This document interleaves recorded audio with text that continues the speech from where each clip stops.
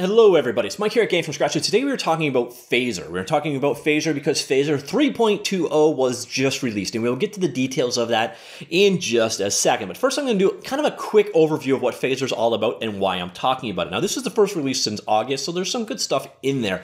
But what is Phaser? Well, Phaser is a desktop and mobile HTML5 game framework. It's pretty much everything you need to make a game, except for, say, a level editor. And even then, it's got full support for things like tiled, the TMX, and TSX file file importing.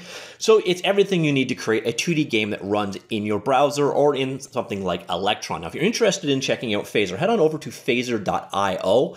Uh, you'll see here, we've got a bit of an overview of kind of features and functionalities that are offered, including WebGL and Canvas, preloader, physics, sprites, groups, animation, particles, cameras, input handling, sound, tile maps, device scaling, plugin system, mobile browser support, and so on. So this is a pretty comprehensive game framework. And it's been around for quite a while. First Phaser 2, and now we're into Phaser 3, and I even think Phaser 4 is off on the horizon.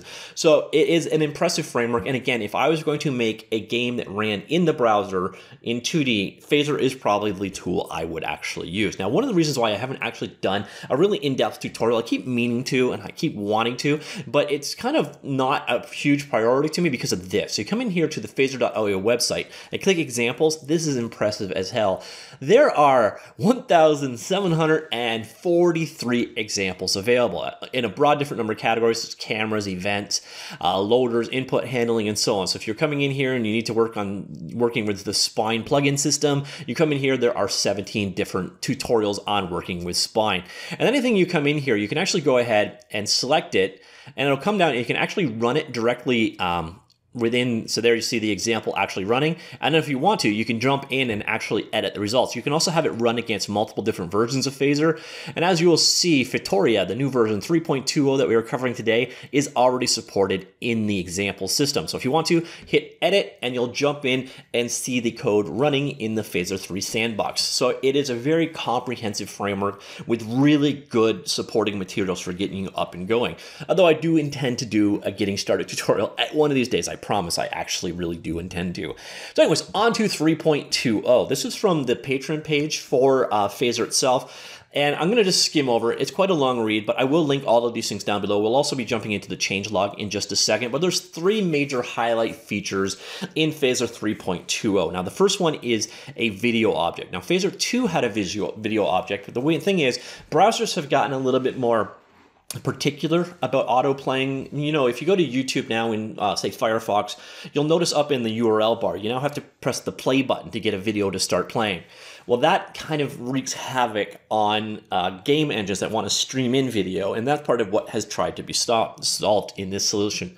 So you see here, like auto playing problems here. So they're doing this in the form of a promise that is sent off. Um, you can now specify as part of the loader call if the video has audio or not. This lets players set the video to muted state immediately, allowing playback to commence right away. So that is cool. If you don't have audio in your video, so if it's like motion capture or something only, you can have it automatically play. But you can see playback is now also emits a promise. You can listen for resolution of this promise and know when playback can begin or the failure to know playback is blocked. So there's the downside. Depending on what browser you're actually using, there is a chance that you're just not going to be able to play back video, which is unfortunate, but that's how it works.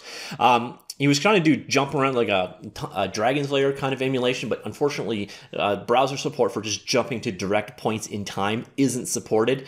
Uh, however, there is the ability to jump relative, so you can jump two and a half seconds forward. Uh, you can jump to a timestamp, or you give it a percentage that's based on the total video duration.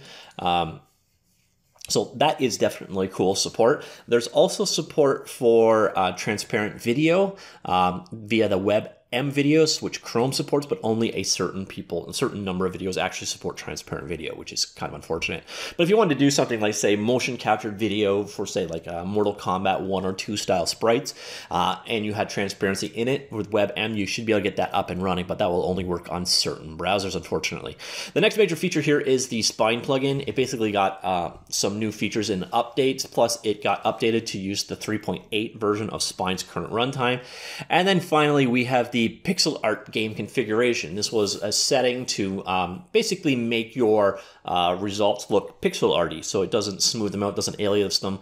Uh, so it would set the canvas to use nearest neighbor scaling, then all textures would use a linear filter mode so they retained their pixel crispness when scaled. These two aspects worked. Uh, the problem is they only worked um, for certain game objects. So um, particle emitter, bitmap, text, tile map, and so on, all ignored it. So if you made your game entirely out of sprites, you would get that pixely look. But if you started using particle systems or bitmap text or normal text or tile maps from another, um, something like tile, like I mentioned earlier on, they wouldn't get that pixelated look. So he's gone through um, and changed it so that everything will respect that. Um, so I spent a good while going through everything I could find, making sure that all those objects which previously ignored it now respect it. So if you're going for that pixel art look, you can use the, what is the actual name? Pixel art game configuration and you are good to go. Um, so that is the, the three major features. So spine update, video playback, and that pixel art game configuration. Those are the biggies. If you want to read more details, of course, I will link this Patreon post for um, what was all about it. And then finally, we get into the, uh, the game release. So you see here is the process of loading a video video, and here is the process of adding a video. And then once it's added, this is actually really kind of cool, especially if you know how um, Phaser works. Once it's added, it's just a game object, like a sprite. So you can uh, scale, rotate, crop, tint, interactive, uh, give physics to it, and so on, a video. So if you want to have your main character sprite to be a video, you can. And you can tint it, you can rotate it, you can scale it, and so on. So that's really cool. Um, again, unfortunately, WebM for the transparent video is only available in a subset of browsers. Uh, fortunately, that subset is Chrome, which means it now works on uh, pretty much everything is based on Chrome that isn't called Firefox now. I think now that Edge is on Chrome, or Chromium anyway. So hopefully WebM support is going to be coming uh, more ubiquitous soon. Um, and then, yeah, so we got more details on how the video object works, breaks down. I'm not going to get into the, the weeds of it. Uh, we got more updates on what has changed with the uh, Spine plugin, including some of the bug fixes that went along with that and um, some changes to the process. Uh, Facebook Instant Games plugin uh, has some new love and features there. Uh, Arcade Physics got some fixes, including uh, frictions starting to flip out in the past, physics object dipping into the floor, and when objects dip into the floor, their rest velocity is non-zero. This can affect debug and other logic. So you see some fixes there, and then we got a number of smaller new features in this release as well. And that is about it. Now, if you get to the bottom of the release notes, which I will of course link as well, you can find versions of it available here. You should also be able to get it off of the GitHub page as well. And speaking of which, we are on said GitHub page right now. You'll notice it is under Photon Storm Phaser. So if you want to grab it, it is available Photon Storm uh, at github.com forward slash photonstorm forward slash phaser. Of course, we'll link that as well. You'll notice phaser is under the MIT open source license, which means you can do pretty much what you need with it. It's a very liberal license. By the way, if you ever wonder what a license is all about when you're on GitHub, just click it it will actually bring you to a top level didn't read version of what it is all about. So you basically can't sue them and you get no warranty. So if this causes your cat to explode, uh, they are not to blame. So that is about it. That is Phaser uh, 3.20. It's nice to see that it, it's improving at the rate that it is. This is definitely a nice development. Again, I, I do really like this uh, framework. The, the huge amount of getting started and learning materials that are out there. Again, we'll go into the looting section. You'll see there is a getting started material right here. 1743 uh, code examples. The documentation is very solid.